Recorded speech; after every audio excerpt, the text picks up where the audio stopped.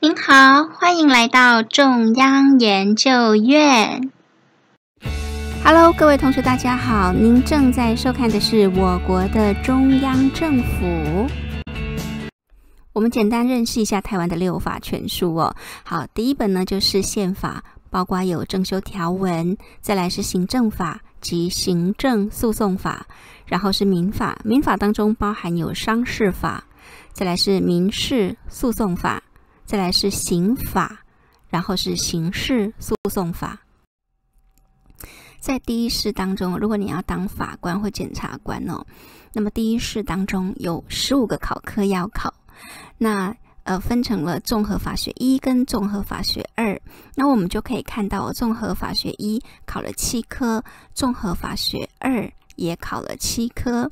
那当然还有外加一科英文，法学英文。好，那么我们现在一起来看一看哦，这考的十四科当中哦，其实内容就等于我们前面提到的这一些六法。好，那将来同学，如果你是对于这个。公民这一科特别有兴趣，尤其是对对于这个三四五六册你很有兴趣的人，也许你家人就非常适合来读法律系哦。然后读了法律系之后，当然大多数的人目标都是要考法官呐，或者是检察官，还有再就是律师，对不对？那事实上哦，你呃，就算你念的法律，你不想要当。法官、检察官或律师的话，跟法学相关的这个公务人员考试也是有的，国家考试也是有的。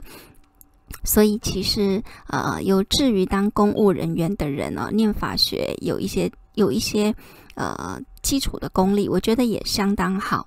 那我们现在就来看一下，我们回到第一试应试的十五个科目，从这十五个科目我们来。对应哦，在这个我们的三四五六册会接触到的六法的内容。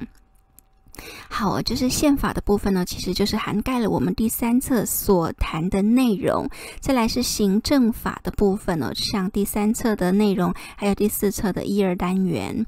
再来就是有关于刑法刑事诉讼呢，其实就是第四册的三五六。好，再来是有关于这个国际法的部分，或者是。呃，全球化的这些议题哦，像像我们的第四册谈到儿少法啦，还有这个呃全球化的这个问题哦，其实都是属于国际公法、国际司法领领域的。再来就是综合法学二哦，考的真的很多，对不对？总共有七个课，七个课程哦。那么里面呢，其实我们的第五册里面的民法跟里面提到的这些商事法，其实就都是民法的范围。好，所以大家都已经知道了，三四五六册其实都脱离不了法律的相关内涵。特别是同学透过三四五六册的学习哦，能够把这个法学打基础，然后对于这个法学的科目，特别是六法全书、六法能够有一些内内涵上的基础认识。好。宪法征修条文总共有七次的征修，内容总共有十二条，一定会考，会考，会考。Hello，各位同学，大家好。我们现在这个单元要谈的是中央政府的组织，还有组织之间的互动到底是什么样的一个情形哦。那么，当然我们在前面就已经提过了，这个呃，我们的国家是依照宪法有五权分立，对不对？行政权、立法权、司法权、考试权跟监察权。那么依着这五权分立呢，也制定了什么？制定了五院，好，有行政院、立法院、司法院、考试院跟监察院哦。那当然，这个行政权呢，包括在总统。跟行政院之中哦。此外呢，当然同学也要去注意到的，就是说，我们既然说到这个是五权分立，而且呢是五权要制衡，对不对？那么呢，这个院与院之间呢，当然也有它制衡的力量。那么它是怎么来制衡的呢？这个为什么要设计这样的制衡？我们前面也提到了，为什么？因为要保障政府不会侵害人民的权利，对不对？好。那么，所以呢，现在同学就要来认识中央政府的组织跟他们的职权到底是什么。那我们来看一下哦，中央政府的组织分成了，呃，行政从五权分立的概念来的是行政权、立法权、司法权、考试权跟监察权。好，现在呢，我们就一一的来看。好，首先我们看一下哦，呃，我国是依据五权分立的精神，将中央政府的组织及职权明确规范于哪里呢？宪法以及宪法征修条文。所以各位同学，你在念这个公民第三册的时候，你务必要把宪法至少读一遍。还有呢，考试考来考去都考在宪法征修条文，所以其实第三册、第四册都是。呃，第三、第四、第五册哦，都是整个公民与社会这个课程的在会考的考点，就是会考，一定就是会考在第三、第四、第五册，尤其是第三册。第三册当中哦，因为我们的宪法征修条文对宪法有一些冻结，有一些修正，有所以呢，其实宪法征修条文的新的这些规定哦。比宪法原来的内容还要更重要，所以考试一定考在宪法征修条文当中。那么宪法征修条文呢，总总共有七次的征修，然后总共有十二条，这十二条同学务必要滚瓜烂熟。好，那么现在我们就来看了这个五权分立的结构当中哦，行政权呢，指的就是组织和管理内政、外交等等各方面的行政事务的权利。好，那么其实我们刚刚有讲到哦，它包括总统、包括行政院都能执行这个行政权呢。好，那么总统是国家的元首，对外代表中华民国。那行政院呢，是我国的最高行政机关。再来，我们来看的是立法权。立法权指的就是制定法律与监督政府的权利哦。好，这里讲的制定法律，我们法律我们还记得，就是我们人民其实有选举、罢免、创制、复决，这个制定法律就是创制权。好，那么立法院呢，就是我国最高的民意代表、最高的立法机关。好，它是我们的中央民意代表，也就是我们的国会。再来，我们看的是司法权哦，具。只具有行使解释、审判权以及惩戒权等等的权利。那司法院呢，其实是我国的最高司法单位、司法机关。再来是考试权，指政府凡是要选拔、任用人才的权利。那考试院呢，是我国最高的这个考试机关。事实上，我们也讲到哦，就是。呃，在国外哦，都是三权分立，但是这个孙中山先生创立了五权分立，特别把考试权从这个行政权拉出来，又特别把监察权从立法权拉出来。最主要的原因是参考了古代这个科举制度。还有这个谏官的制度，所以把这两个权呢给独立出来。事实上，我觉得也有他考虑非常周详的地方，因为呃，每一个民族的民族性不同。那如果说独立之后，它真的能够公公正、公平、独立的运作，我觉得那当当然是一个非常非常好的事情，对人民来说真的是一个福音。好，就是如果你行政如果考试收回行政里面，那你说不定你想要用什么人才，你就会。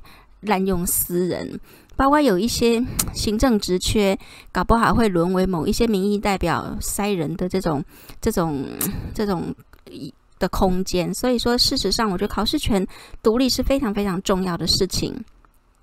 那担任考试呃院的这一些主管机关人员哦，真的是为我们国家在选拔跟呃挑选人才，然后也禁用人才，这个都是非常重要的事情。因为有好的。公务人员，我们的国家才能够更加健全，而且正面积极的发展。好，再来就是监监察权了，指的就是监督政府官员施政以及经费的运用。干单来供，这里让你让你下面让你会计师啦，就是监监察本来就是有监督政府，这是没有问题。因为哦，其实它本来在立法权里头，在在三权分立来讲的话，这个监察权是在立法权里面的。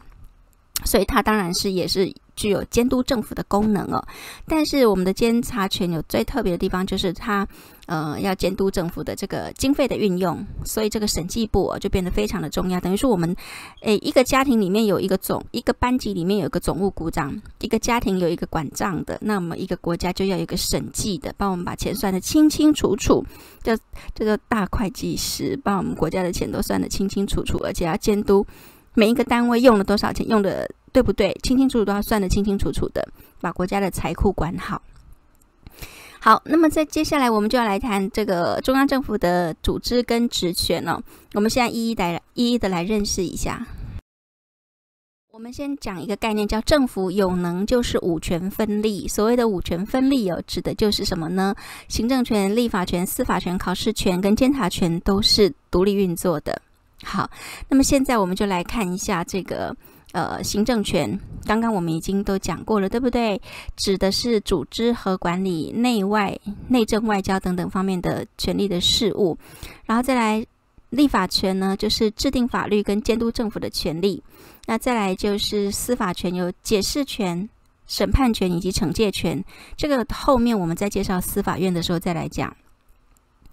再来是考试权呢，就是指政府选拔任用优秀人才的权利。再来就是监察权，指监督政府官员的施政以及经费运用的权利。当然呢，我们等一下也会讲，假设说如果有公务人员他怎么样？违法或失职，监察院就要给他弹劾。这个我们后续再说。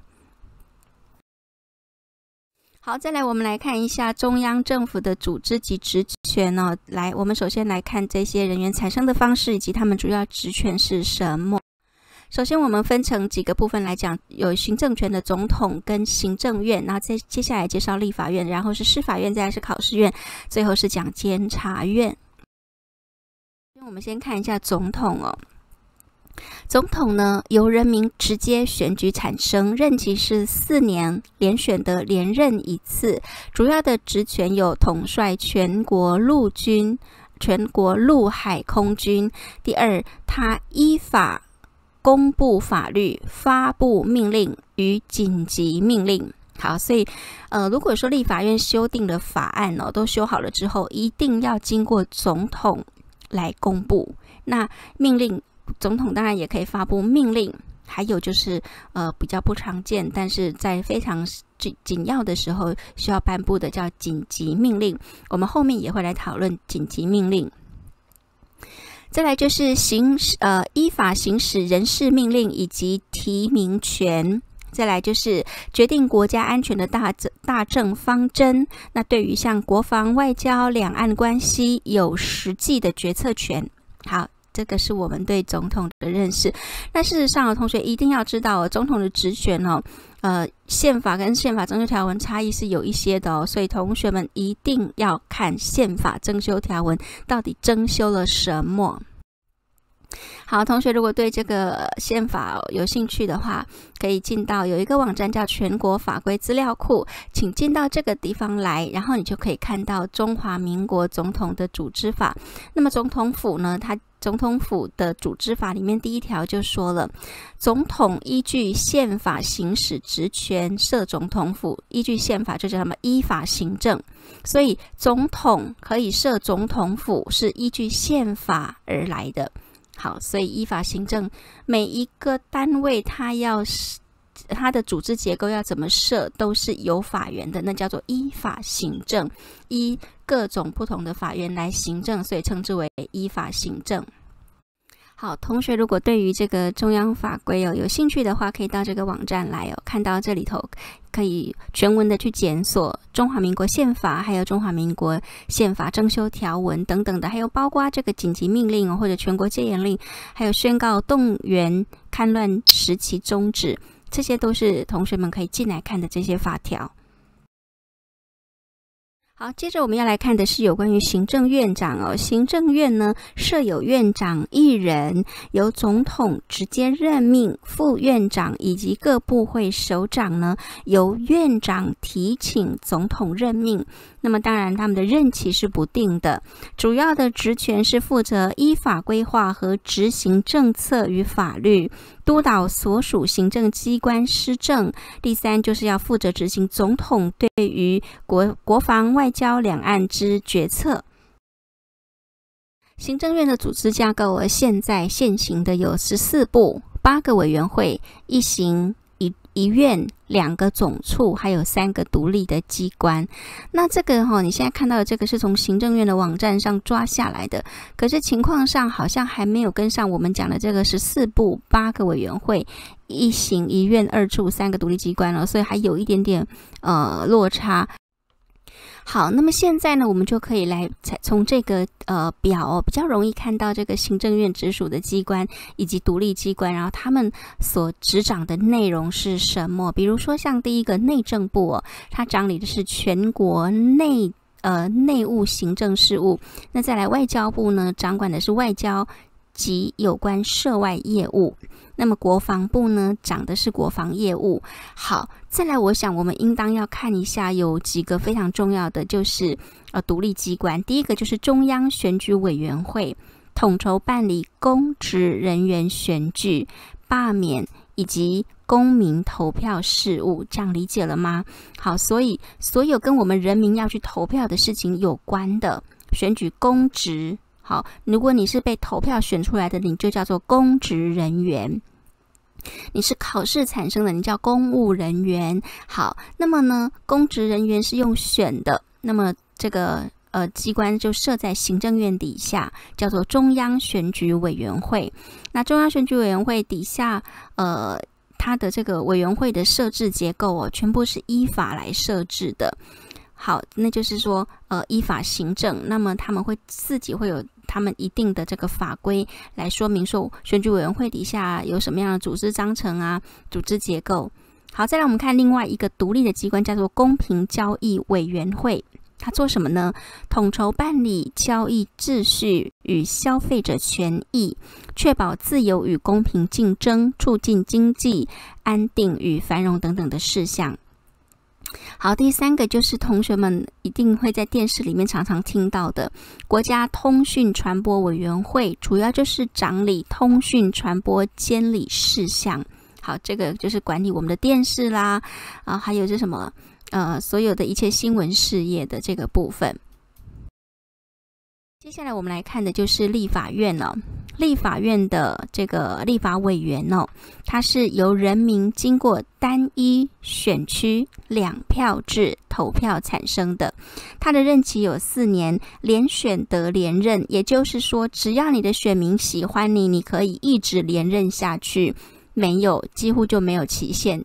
只要你有本事当选，那么呢，这当中有院长跟副院长。那这个院长跟副院长由立法委员自己相互选举产生。好，那么立法院呢，它的职权第一个制定法律，就是我们讲的选举罢免创制复决当中的创制权，制定法律，制定法律就是由我们的立法院来制定的。第二个，我们国家的钱要怎么花，这些预算，行政院编好了之后呢？行政院把这个统筹款都编好了之后，就要送来立法院审查。所以立法院要审查中央国家、中央政府我们整个国家的预算年度预算。好，再来就是立法院要质询行政院的政府官员，包括有院长，还有各部会的首长，质询权。再就是对总统提名的官员，他要行使同意权。那你会说，老师他可不可以不同意？当然可以，因为他代表人民来监督。然后，如果他觉得政府总统提的这个人呃不太 OK，那么他当然也可以不同意。好，再来就是呃，对于总统、副总统，他也他可以提出罢免，也可以提出弹劾。那他要罢免总统跟这个弹劾总统的程序是不一样的，我们后续再来说。再来有一个非常非常重大的事件，就是立法院它可以提出宪法修正案。假设我们今天宪法要有增修，对不对？那谁才有资格来提出我们要增修宪法？谁呢？就是立法院。好，那再来第七个也是非常重大的权利，就是领土变更案。我们的国家领土要变更，必须由立法院来提案才可以的。好，接下来我们来看的是司法院院长的产生以及他的职权哦。司法院设有院长跟副院长，还有大法官。那么这三个人呢，都这三个呃职务的项目哦，都是由总统提名，但是必须经过立法院同命之同意之后才能任命。那为什么要经过立法院同意呢？因为他们不是人民选的。所以呢，还是要经过代表人民的立法院的委员同意才可以。好，那么接下来我们就要介绍一下哦。其实这个司法院呢，它有各级的法院，主要就是负责审理各种诉讼的案件。那呃，司法院还设有惩戒法院，主要就是掌理全国公务人员的惩戒事务。还有一个叫做宪法法庭，不过宪法法庭比较特殊，为什么呢？因为它是由大法官组成的。而且它的业务主要有三个项目，好，但是它进行的方式是以法庭裁判的方式。那这三个重要的事件是什么事件？第一个，审理正副总统的弹劾案。好，就我们刚刚刚刚不是讲到吗？这个立法立法院哦，可以弹劾正副总统，对不对？好，那由谁来审理？就是由宪法法庭。那这个宪法法庭必须是由大法官来组成的。好，第二件事情就是这个宪法法庭哦，它还有政党违宪。如果政党它有违违违反宪法的地方，那么这个大法官的宪法法庭可以呃来审理解散政党的案子。第三个就是大法官呃比较常常应该说比较多在执行的事情，就是解释宪法与统一解释法律跟法令，也就是说。大法官组成的宪法法庭，他必须要负责解释宪法、解释法律、解释命令。好，一旦就是这一些，呃，不管是宪法或者是法律或者是命令相互之间有抵触或有疑义的时候，那就要由宪法法庭、由大法官的宪法法庭来进行解释。好，这个是宪法法庭比较特殊的地方，它负责的主要三个业务哦：审理正副总统弹劾案、审理政党违宪的解散案，还有解释宪法、解释法律、解释命令。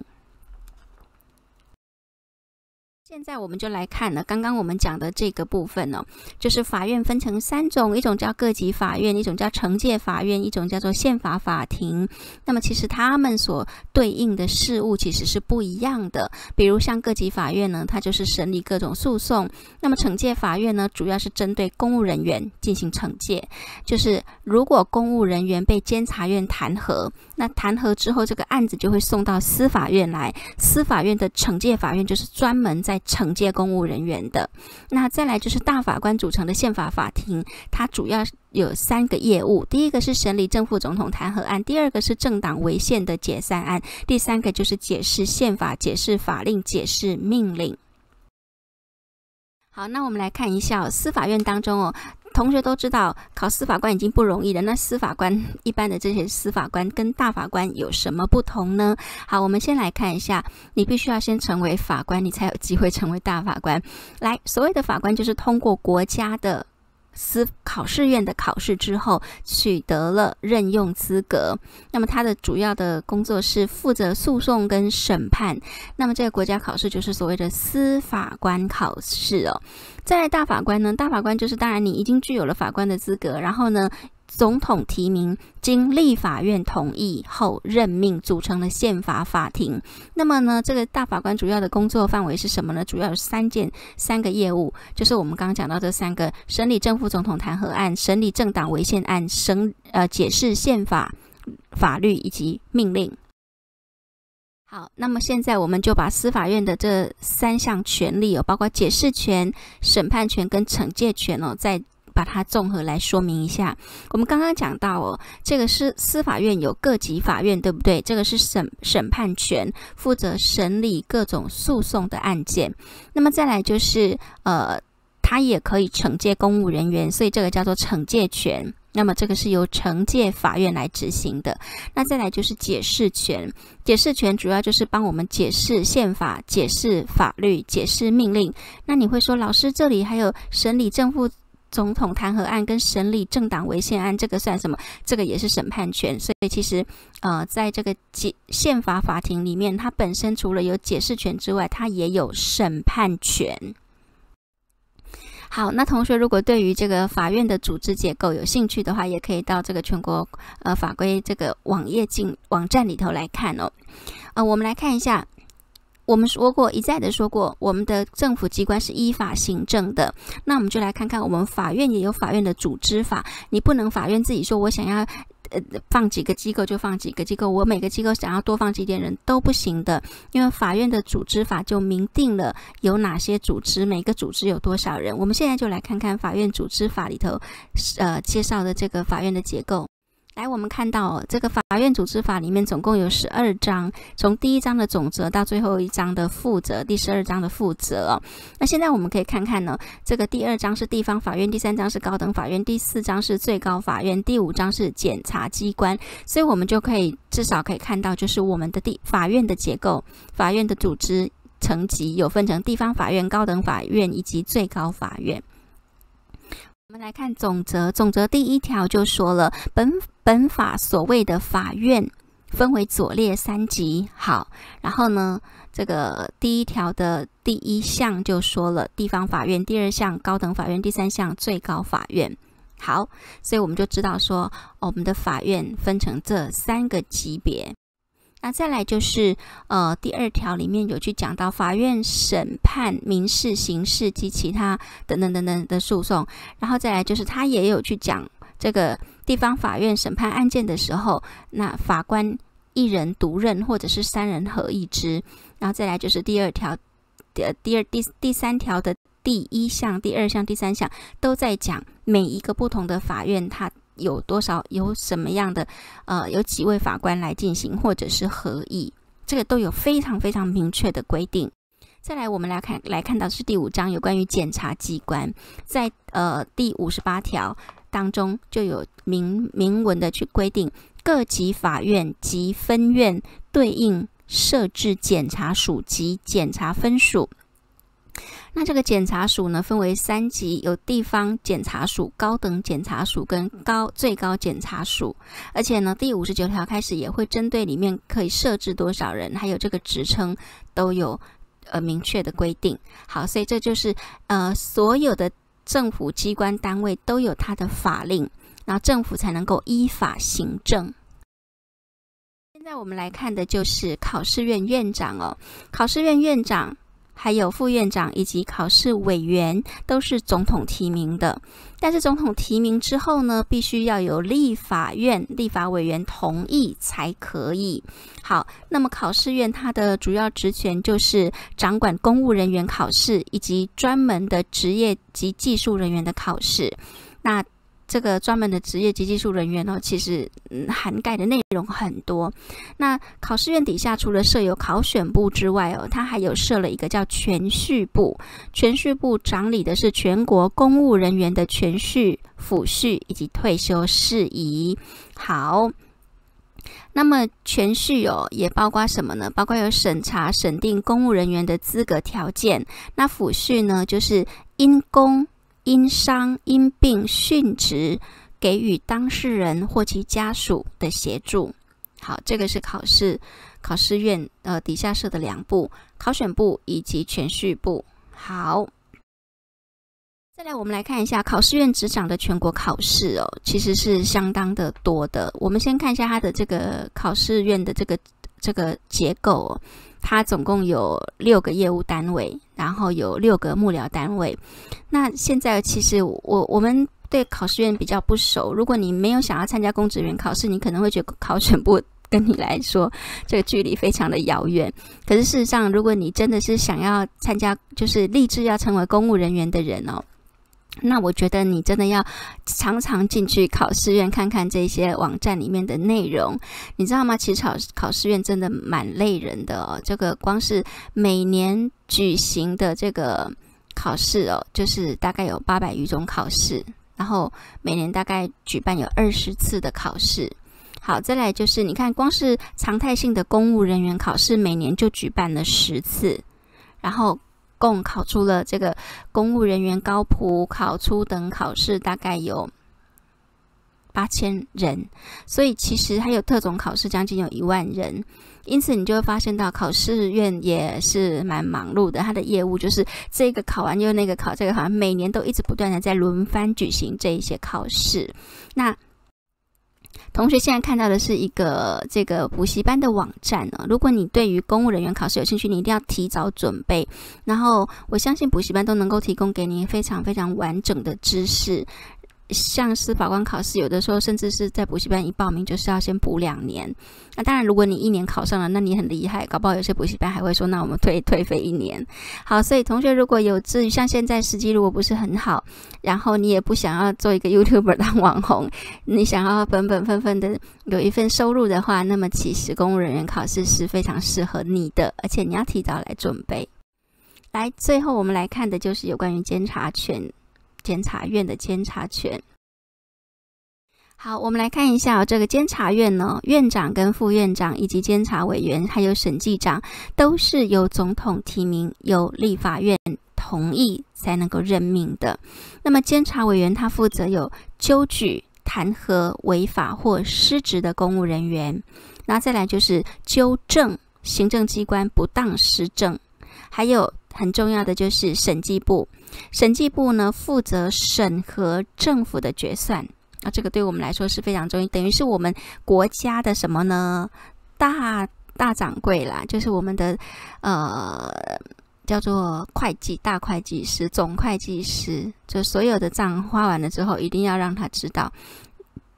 那监察院的审计审计长哦，把这个钱都算清楚之后，就要回头要去跟立法委员报告，去立法院报告。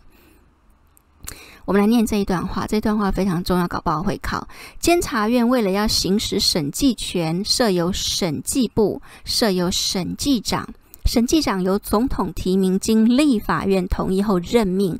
审计长应于行政院提出决算后的三个月内，就要依法行政完成审核，并且把这个审核报告提交给立法院。OK。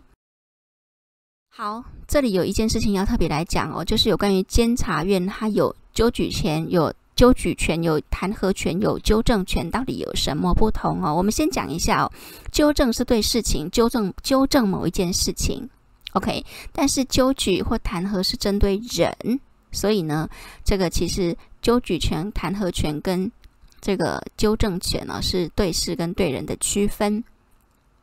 那我们先来看纠正权好了。好，纠正权呢，它的行使对象是对事情。如果行政院或者其他所属的政府机关单位，它有不当的施政，那么呢，监察院就必须进行纠正，然后受理之后，他自己行政院有关的部会的那些上司跟长官就要进行纠正。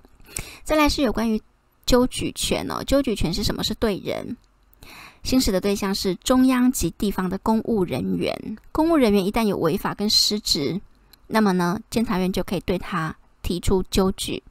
那假设说今天有人被纠举了，那么这个案子就要送给谁？送给公务人员那个人的主管上司或者是长官。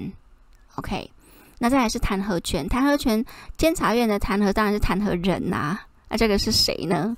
弹劾的当然就是呃那些呃已经违法的公务人员，好，中央跟地方的违法的公务人员都会被监察院给弹劾的。那被弹劾的人其实很严重哦，非常严重。如果已经到了被弹劾，就会送到司法院的惩戒法院，这个非常严重。所以监察院弹劾公务人员是严重的事情。好，学霸做笔记，我们来看看有哪一些内容要提醒大家的。这个我们要来看的就是总统颁布紧急命令哦。好，由于这个武汉肺炎不断的这个升温，台湾社会又掀起了一波。哎呦，我们的总统是不是应当要颁布紧急命令？这个事情其实在很早之前就有讨论，在两千年的时候就已经讨论了。但是呢，大家都在说，为什么蔡总统没有颁布紧急命令呢？好，那么其实哦，这个总统是有回应的。总统府的发言人就说，现行我们有防疫特别条例，还有传染病防治法这样的法律，我们依法行政，以这两个法来呃处理就已经足够了，所以暂且就没有发布紧急命令的必要。好，这个 COVID-19 发生的时候，我其实呃，这个紧急命令被讨论的沸沸扬扬。我们来看一下，同学可能还没有看过紧急命令长什么样子。来，这个是九二一发生的时候，总统颁布的紧急命令当中的第六条。我们来看一下第六条写什么呢？好，他说，灾民因本次灾害申请补发证照书件或办理继承登记，得免缴纳各项规费，并且由主管机关简化作业规定之。他其实就把九二一这个重大的。天然灾害的事件造成的一些受害的灾民哦，他们国家不管是要补助他，或者他要做这一些后面的登记等等的，希望能够来做一些呃尽快的处理，还有尽快的这个补偿跟救助、救灾防疫跟安置的工作，所以才会颁布了这个紧急命令。好，总统可以颁布紧急命令哦。这到底是依哪一个法？我们说过嘛，所有的行政机关都要依法行政。那总总统颁布紧急命令，它的法源在哪里呢？其实就是在中华民国宪法第四十三条讲到的，国家遇有天然灾害，然后利益，还有或者是国家财政经济上有重大的变故，需为急速处分时，总统于立法院休会期间，得经行政院会议之决议，依紧急命令法，所以其实有紧急命令法发布紧急命令为必要之处置。好，所以说他有讲两个情况：国家遇到的重大的变故；第二个，立法院休会，然后呢，行政院会议，然后得依紧急命令法。来发布，所以它有好多好多的限制程序，但是里面还有一个最重要，就是，可是呢，你这个紧急命令发布之后哦，必须在一个月内提交立法院追认，如果立法院不同意，这个紧急命令就失效了。这个是宪法第四十三条的规定，但是各位同学，这是旧的规定，为什么呢？因为宪法征修条文针对第四十第四十三条有所征修。我们来看一下全国法规资料库当中看到的这个中华民国宪法条文原文的第四十三条，就是你们刚刚看到我们念过的这个部分。好，那但是呢，宪法的征修条文对这个四十三条有修正。我们来看一下，呃，修正的内容是这样子的。他说，呃，这个是。宪法征修条文第二条第三项规定，总统为了避免国家或者人民遭遇紧急危难或应付财政经济上重大变故，得经行政院会议之决议发布紧急命令为必要之处置，不受宪法第四十三条之限制。好，所以同学就必须要记清楚哦，就是说征修条文才是我们现行的。OK，好，那我们就来看了哈，就是如果紧急命令要发布的话，它有一个整个的流程。总统为了避免国家或人民遭遇重大变故，得经行政院会议决议发布紧急命令为之必要之处置。但是不要忘记了，行政院决议之后十天内必须要提交给立法院追认。OK，所以本来四十三条是说一个月内，对不对？而且是在立法院休会期，但是现在都改了，就十天内就要追认了。好，那追认的结果有两个，一个是立法院同意或不同意。立法院同意，当然这个紧急命令就生效；如果立法院不同意，这个紧急命令立刻失效。所以不要忘记了，为什么立法院有这么大的权利？因为立法院。是人民选出来的立法委员，代表的就是人民。人民不同意你实施、你颁布这个紧急命令，你就得立即失效。当然哦，在这里你也会想问哦，总统颁布了一个紧急命令，还必须要被这个行政院同意或不同意？万一不同意就立即失效，这是什么意思？这是什么概念？简单的说。就是我们从总统发布紧急命令这件事情，就可以来看到所谓的五权分立，它本身就隐含着五权要分权制衡，不要让某一个机关它有独独立，它就是说暴暴力的去行使它的职权，或者逾越的，或者是没有分际的，或者是违法的，或者是失职的去行使它的职权。OK，所以我们从这个总统颁布紧急命令就可以看到这个分权制衡非常非常好的一个设计。学霸做笔记，我们继续来看下去。接下来就是学霸做笔记，我们要看的是罢免与弹劾这两个其实是不一样的。那我们知道哦，就是呃，刚刚讲到就是监察院有弹劾权，对不对？那谁有罢免权？来，我们来探讨一下。哎，所谓的罢免呢，指的是人民对于总统政治责任的追究。那总统不必有任何违法的事由，换言之，是对于依法选出的总统，可以在他任期未满之前就令其去职的一个制度。所以呢，罢免有时候被称为门后的枪。OK，就是对于行政官员，就是责任的追究。那弹劾呢，一般来说。它就是国家执掌纠弹之机构，对于那一些违法失职的公务人员，有权审判弹劾。那这个对这个违法失职的政府官吏进行监督，如果真的有违法，就必须要惩处。来来来，我们再来好好的复习，问一问：谁拥有罢免权？人民可以罢免谁？人民拥有罢免的权利，可以罢免自己投票选出来的民意代表。人民可以罢免自己投票选出来的民意代表，包括有谁呢？好，民选的政务官员，比如说中央民意代表，包括有总统、副总统以及立法委员。那如果是地方民意代表，就是县市首长以及地方议员。只要是你用选票。选出来的，你就可以用选票罢免他。好，再来，谁拥有弹劾的权利呢？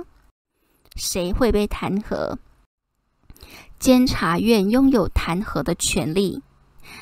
政府的事务官员一般俗称公务人员，如果他有违法失职，就会被弹劾，受到惩惩戒。好，所以大家是不是已经搞清楚了罢免跟弹劾有什么不同呢？罢免呢是要罢免民选的公职人员，而弹劾呢是要弹劾考试考出来的这个叫做公务人员。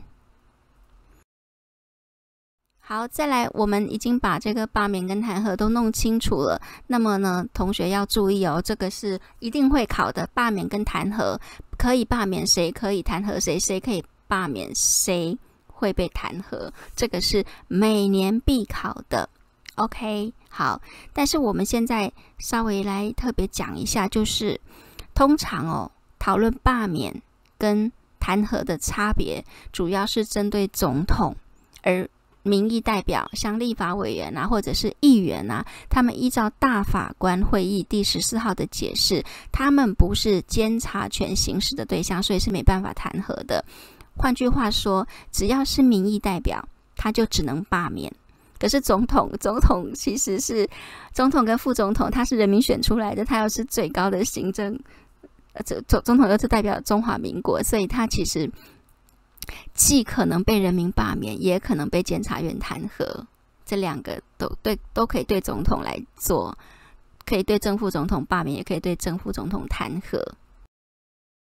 我来，我们来看一下哦，这个罢免总统跟副总统的程序是不当什么叫罢免？不必有违法，你就可以罢免他了。由立法院提出，由公民。投票来复决。来，我们先看一下，如果你要罢免总统的话，必须要有立法委员四分之一以上要提案，提案之后呢，要三分之二全部投同意票，那么这个才能够进行提案罢免。可是你以为三分之二立法委员同意就可以把总统把你们我们一票一票选出来总统罢免掉吗？当然不是这样的，就是说提起罢免案。可是真正来行使要不要把总统、副总统罢免掉的是谁？是人民公民投票，所以这叫复决权。我们一直在讲，人民有选举、罢免、创制、复决。复决就是立法院提案之后，公民投票的复决，就是指的就是这个部分。所以罢免总统它是需要复决的，就是必须要全国的人民再重新投票一次来复决通过才可以。好，再来呢，弹劾总统呢，来如弹劾总统跟罢免总统有什么不同？罢免严格来说，你觉得他，你感觉他让你不喜欢，或者他让你觉得他做的不好，你就可以弹劾，你就可以罢免他。但是弹劾不是哦，弹劾总统是你必须要有实际的，呃，这个总统必须要实际的违法跟失职，你才可以弹劾总统。那弹劾总统的权利在谁手上？一样是在立法院手上，只有立法院可以弹劾总统，可以罢免总统的提案。所以其实，呃，对于总统、副总统的罢免跟弹劾，都是在立法院才有这个提案的权利。好，在立法院呢，如果要弹劾总统、副总统呢，要有二分之一以上提议，要有三分之二以上同意，然后呢，才可以把这个弹劾案、弹劾案送到司法院的宪法法庭，去由大法官来审理。我们要再一次提醒同学哦，有关于总统、副总统的罢免跟弹劾是一定会考的考题，一定会考的考题。那呃，同学一定要把它搞清楚，只有立法院才能够提案要罢免。跟弹劾总统、副总统，但是我们来看一下这两者的差异，你就会来看看说，到底是要罢免总统比较容易，还是要弹劾总统比较容易？而如果这个罢免案或者是弹劾案成立之后呢，最后会后续要怎么来进行？好，我们这样一比较之后，你就发现到说，如果是要罢免总统，四分之一就可以提案了。立法委员四分之一就可以提案了。那如果是要弹劾总统呢，必须要达到二分之一提案才可以。而且两项不一样哦。你要罢免总统，就是总统不必有违法的事由，你就可以罢免他。但是你要弹劾总统，你必须要掌握的明掌握了明确的违法失职的状况，你才能够弹劾他。那这两项提出之后呢，其实后面发展是截然不同的，因为罢免。因为总统是人民一票一票选出来的，所以你要罢免总统，你提案通过之后要有人民来复决，就是人民再一次投票同意要罢免这个总统才可以。那如果说是弹劾呢？弹劾就是你这个弹劾案一旦成立，立法院有三分之二都同意要弹劾这个总统，那弹劾案成立之后呢，就要把案子送到司法院的宪法法庭，由大法官来审理。今天就说到这里，更多更精彩的内容，敬请锁定中央研究院，拜拜。